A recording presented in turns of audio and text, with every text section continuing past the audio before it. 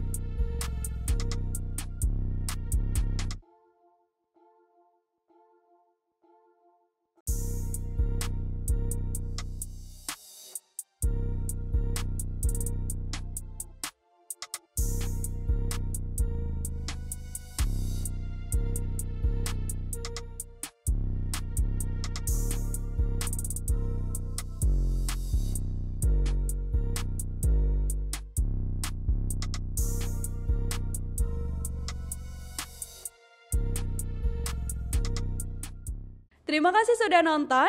Jangan lupa like, subscribe, dan share ya.